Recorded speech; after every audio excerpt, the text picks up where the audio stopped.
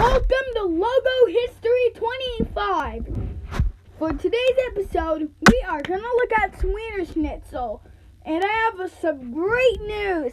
I am now using Keynote instead of KineMaster for these type of videos because because it's going to take me a while just to do it with with KineMaster and everything. that I but we won't have the picture of the for this for the entry.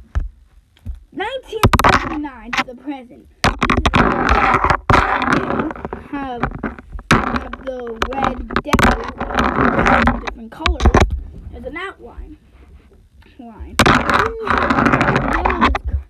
normal outline. And then then we have the colors. We then we have Schnitzel a really weird concept test in white. that is going to be all. Thank you for watching. Make sure you like and subscribe for more videos. Alright, goodbye.